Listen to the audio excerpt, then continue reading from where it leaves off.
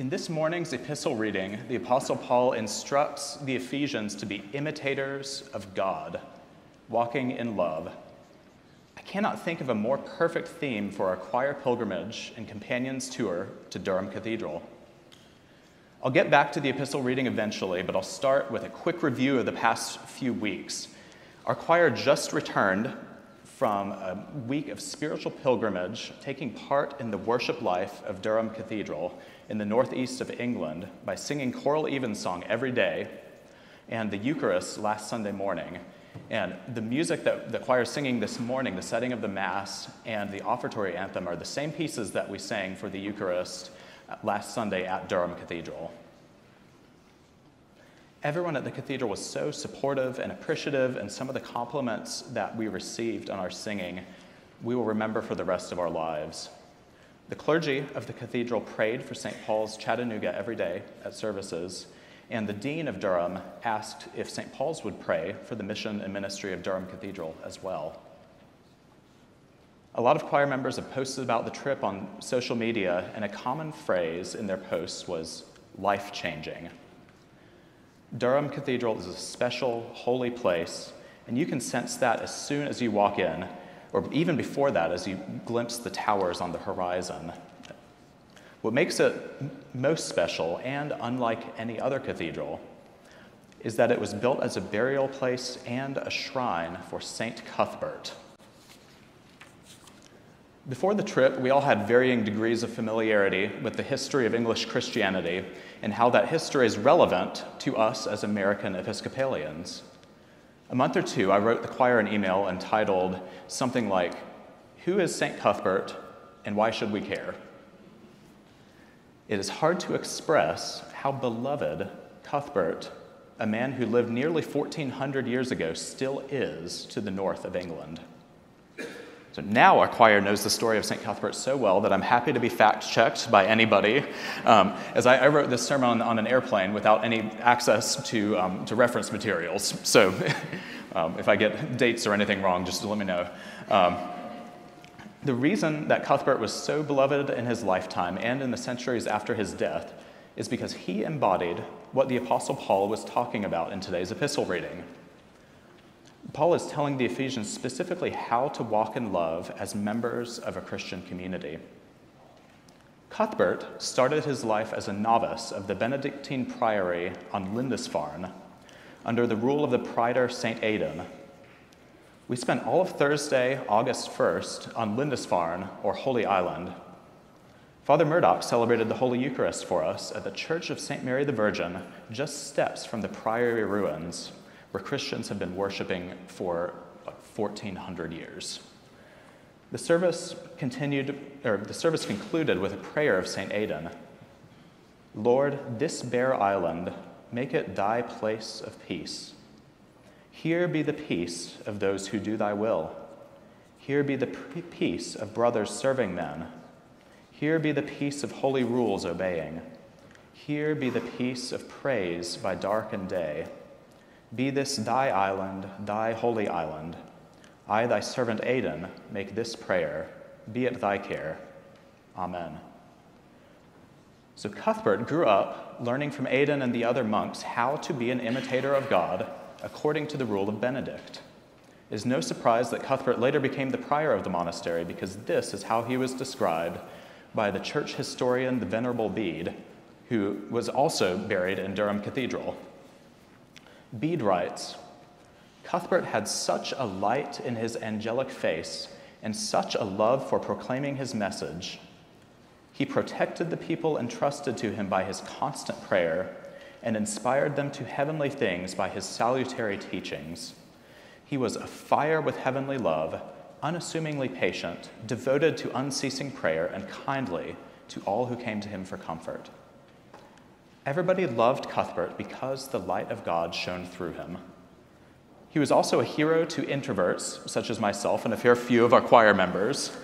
After serving as prior, he further devoted himself to prayer by becoming a hermit and living on a t- tiny island about 100 yards from the sea, from the priory. This was my favorite place on Holy Island. Looking across, imagining him praying with the puffins and the seals and the otters to keep him company. But even from there, he would teach and heal and serve and be an imitator of Christ Jesus. Very reluctantly, but at the request of everyone, he left his little island to become a bishop and served as a bishop until his death. One of our tour guides told us that even while Cuthbert was alive, everyone knew he was going to be considered a saint by the church upon his death. So, 10 years after he was buried, the monks dug up his body, as was the custom for saints, to wash his bones and collect relics to distribute. But, to their surprise, they found his body incorrupt, as if he were asleep, as Bede says. Sometime later, the monks got wind of Viking raids nearby and they dug up Cuthbert again to keep his tomb from being desecrated. Now, I'm compressing hundreds of years of history here, so ask a choir member or someone who went on the Companions tour for the full story. But for hundreds of years, a small group of monks carried Cuthbert's body around from place to place to try to keep it safe. They eventually ended up in Durham. And round about this time was when the Normans invaded England from France. And they were not like the Vikings. Um, they, were, um, they were Roman Catholic. And partly to gain the favor of their new subjects in the north of England, and partly to showcase their power and wealth, they, bought, they built the humble hermit, Cuthbert, a magnificent shrine, which was Durham Cathedral. And the community of monks that had borne Cuthbert all around Northumbria had a new home and a place of worship. Cuthbert's tomb and shrine survived the Reformation. Henry VIII's armies and the dis- dissolution of the monasteries, and that is another story um, that I will skip. Um, but Cuthbert's body remains in a tomb behind the high altar about 50 yards from where we sang all week. What was so moving to me was that the heartbeat of, of Cuthbert's life as a monk, and then as a hermit, and then as a bishop, was daily prayer the daily offices, and that his community kept offering those prayers as they carted him around after his death, and that the stones of Durham Cathedral have echoed for nearly a thousand years with the voice of prayer and praise in the daily office, and that we, from St. Paul's Chattanooga, had the immense privilege of offering those same prayers in the communion of Cuthbert, Bede, Oswald, and indeed all the saints we won't forget St. Oswald. Um, his, um, as the choir will tell you, his, um, his head is buried in Cuthbert's tomb. Um, that is another story. what, what I hope to take back from our experience, and what I hope our choir and companions take back, is the experience of offering prayers every day and the nearness of the communion of saints in all places. No, Cuthbert is not buried behind the altar here, but when we gather in this place, we are surrounded by a great cloud of witnesses, saints in every generation in whom God is glorified. In the words of one of my favorite hymns, which sadly is not in our hymnal, these stones that have echoed their praises are holy. These stones, these bricks. And dear is the ground where their feet hath once trod. Yet still they confess they were strangers and pilgrims, and still they were seeking the city of God. I'm sure we can all think of saints in this place in whom God is glorified, and the plaques on the walls and in the memorial garden remind us. Our history at St. Paul's is slightly shorter, but the communion of all the saints is the same.